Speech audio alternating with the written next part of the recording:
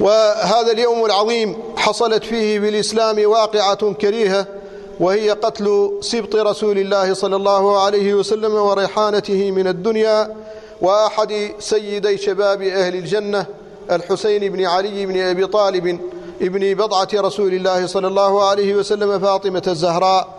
وقد كان رضي الله عنه تربى في حجر رسول الله صلى الله عليه وسلم على الصدق والوفاء والأمر بالمعروف والنهي عن المنكر وإعلان الولاء لله سبحانه وتعالى والسعي لمصالح المسلمين.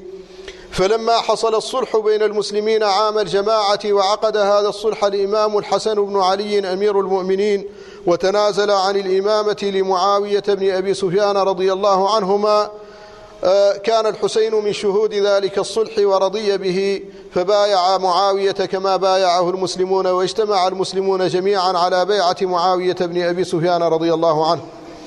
فمكث معاوية عشرين سنة خليفة فلما كان عام ستين توفاه الله. وقد كان بعض الناس زينوا له أن يولي ابنه يزيد ولم يكن يزيد على مستوى معاوية ولا على قريب من ذلك. فمعاوية من أمناء الوحي وكتابه لرسول الله صلى الله عليه وسلم ومن أصحابه الذين غزوا معه وشهدوا غزواته ومن الذين دعا لهم رسول الله صلى الله عليه وسلم بالمغفرة والعلم والحلم ومن الحلماء الذين يضرب بهم المثل ومن الكرماء الذين نفع الله بهم هذه الأمة فهو يستحق الملك والخلافة. أما يزيد فإنه لم يكن على ذلك المستوى. ولذلك لما أرسل معاوية رضي الله عنه جيشا إلى قبرص لفتحها وهو الجيش الثاني الذي بشر به رسول الله صلى الله عليه وسلم كما في حديث أم حرام بنت ملحان رضي الله عنها أن النبي صلى الله عليه وسلم كان ذات يوم في بيتها نائما فاستيقظ وهو يضحك فقالت بأبي أنت وأمي يا رسول الله ما يضحكك؟ قال قوم, قوم من أمتي ملوك على الأسرة أو كالملوك على الأسرة يركبون ثبج هذا البحر هم في الجنة. قالت فقلت ادعو الله أن يجعلني منهم قال أنت منهم. ثم نام فاستيقظ يضحك فقلت بأبي أنت وأمي يا رسول الله ما يضحكك؟ قال قوم من أمتي يركبون ثبج هذا البحر هم في الجنة. قلت يا رسول الله ادعو الله أن يجعلني منهم قال أنت من الأولين. فكانت أم حرام في الغزوة الأولى إلى قبرص مع زوجها عبادة بن الصامت رضي الله عنهما فماتت عندما وقعت عن دابتها بقبرص فكانت شهيدة في تلك الغزوة. وغزوتها الثانية كانت في أيام معاوية فقد أرسل جيشا لفتحها بعد أن نكث أهلها فلما وصلوا إليها أصابتهم الحمى والموم فتنفطت أجسامهم فبلغ ذلك أهل الشام فهزئ منهم يزيد وقال حقا لهانا علي اليوم ما لقيت جموعهم من أذى الحمى ومن مومي إذا ارتفقت على الأنماط متكئا في دير مران حولي أم كلثوم. فغضب معاوية فأمره فألحق بذلك الجيش حتى يصيبه ما أصابهم. ولم يكن يزيد من أهل الحلم ولا من أهل الورع والسيادة في المسلمين. فلذلك لما بويع بعد وفاة معاوية رضي الله عنه استنكر عدد من الصحابة بيعته وأنكروا هذه البيعة ولم يرضوا بها منهم عبد الله بن عمر وعبد الرحمن بن أبي بكر وعبد الله بن الزبير والحسين بن علي والمسور بن مخرمة وخلائق من الصحابة فلم يبايعوا ليزيد ولم يرضوا بذلك. ورأى الحسين رضي الله عنه أن من واجبه أن يتحمل مسؤولية أمة محمد صلى الله عليه وسلم وأن يدفع عنها الظلم والطغيان حتى لو أدى ذلك إلى التضحية بنفسه. فذهب إلى مكة وكان معه ابن عمر وابن عباس وابن الزبير والمسور وعدد من الصحابة فتشاوروا في الأمر فجاءت الكتب إلى الحسين من العراق أنهم يبايعونه ويناشدونه أن يأتي إليهم. فلما كثر عليه ذلك أرسل ابن عمه مسلم بن عقيل بن أبي طالب إليهم. فجاء مسلم إلى الكوفة ووجد أميرها النعمان بن بشير بن سعد الأنصاري صاحب رسول الله صلى الله عليه وسلم. فاجتمع على مسلم أهل الكوفة فبايعه منه ثمانية عشر ألفا ببيعة الحسين رضي الله عنه. فعلم بذلك النعمان فقال إني لا أرفع سيفا على مسلم حتى يبدأني بالقتال. فعلم بذلك أنصار يزيد فوشوا به إلى يزيد فعزله عن الكوفة وولى عليها عبيد الله بن زياد وكان واليه على البصرة.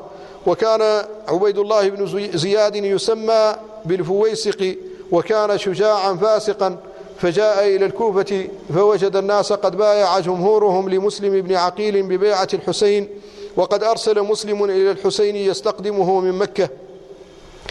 فلما أراد الحسين أن ينصرف إلى الكوفة من مكة اعترضه عبد الله بن عباس فناشده أن لا يذهب قال لا تذهب. فقال إنه قد بايع لمسلم بن عقيل منهم ثمانية عشر ألفا. فقال لكن إذا عزلوا أميرهم وضبطوا خراجهم وبلدهم حينئذ اذهب إليهم أما وأميرهم بين ظهرانيهم ولم يعزلوه ولم يزيلوه فإنما يخدعونك ويغرونك فلا تذهب إليهم. فلم يسمع الحسين رأي ابن عباس ودعا عبد الرحمن بن أبي بكر فوافق ابن عباس في الرأي ثم دعا عبد الله بن عمر فوافقهما وقال له أنشدك الله الذي لا إله إلا هو ألا تذهب إليهم فقد خانوا أباك وأخاك وإنهم أهل غدر ولا يصدقون فيما يقولون. فلما عرف فيه الجد وأنه قد عزم على الذهاب إليهم قال إذا فاترك من يذهب ويأخذ لك البيعة منهم حتى إذا استقر لك الأمر فاتبعه. فقال يكفي مسلم بن عقيل.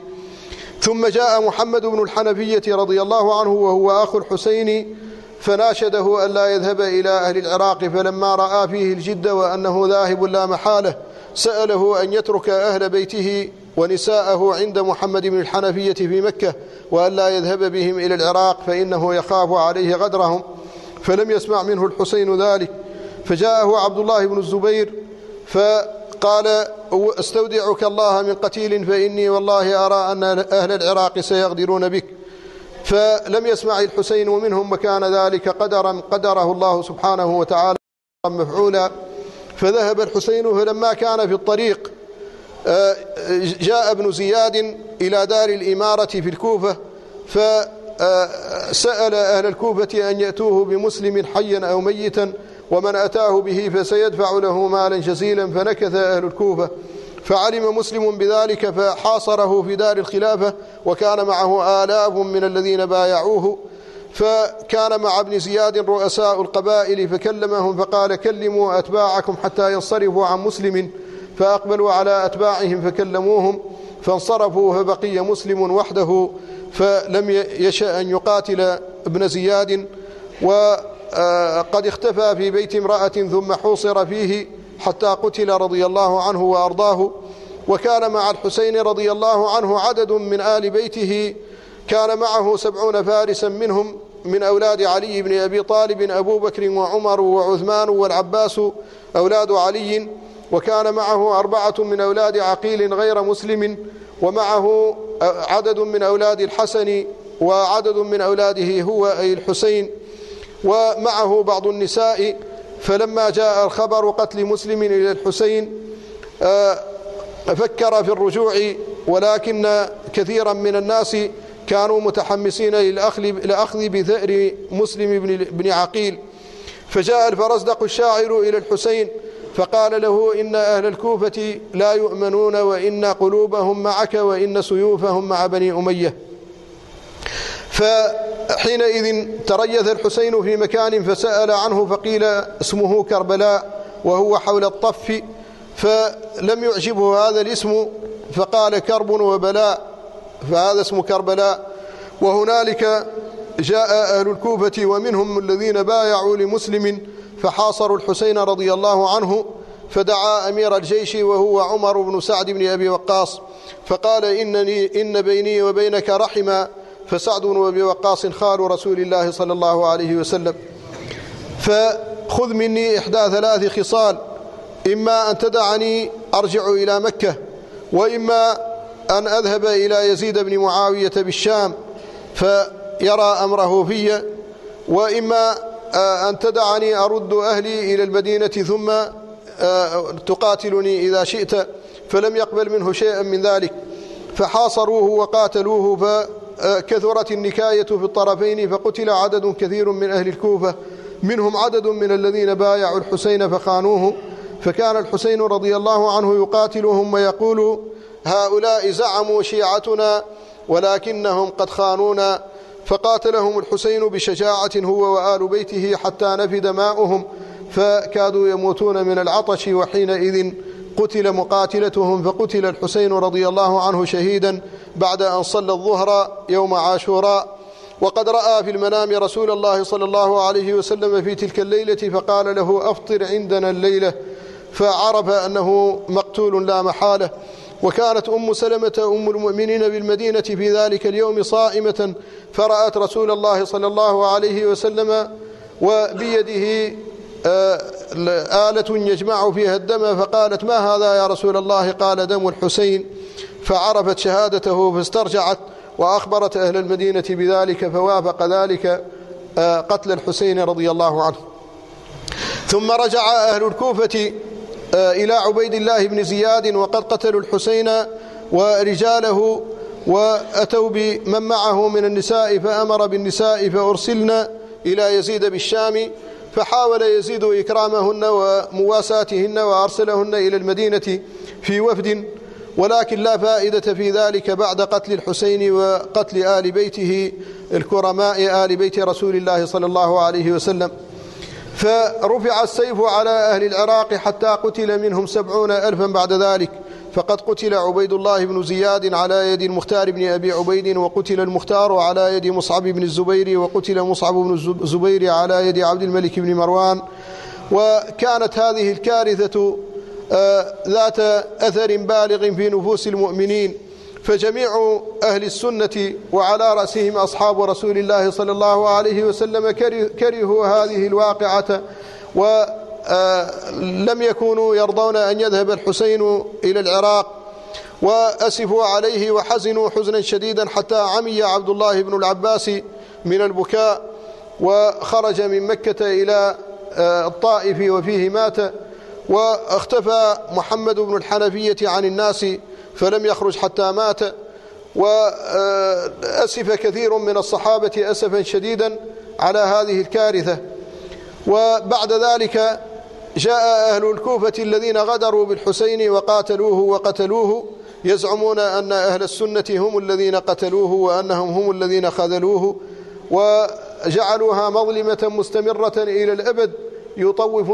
يطيفون بها في أنحاء العالم ويجعلونها مظلمتهم وكأنهم الورثة الذين يرثون دم الحسين وكأن أهل السنة هم الذين قتلوا الحسين رضي الله عنه وأرضاه. فكان ذلك شرخا في هذه الأمة إلى قيام الساعة. وما تجدونه اليوم من الحروب الطائفية والمشكلات التي تشيب لها الولدان في أنحاء العالم. وما تسمعون من القتل والمشكلات كله ناشئ عما يروج له الطائفيون المبتدعة الذين خان أسلافهم الحسين وقتلوه ثم ادعوا أنهم أولياؤه وأنهم أنصاره وشيعته ظلما عدوانا كذبا. وما قالوه إنما هو افتراء فدم الحسين إنما هو في أعناق آبائهم وأجدادهم الذين خانوه وقاتلوه قاتلهم الله. قتل الله من قتله ولعن من لعنه ورضي عن الحسين وأرضاه وعن الذين قتلوا معه من آل بيت رسول الله صلى الله عليه وسلم الأطهار وجمعنا بهم في أعلى عليين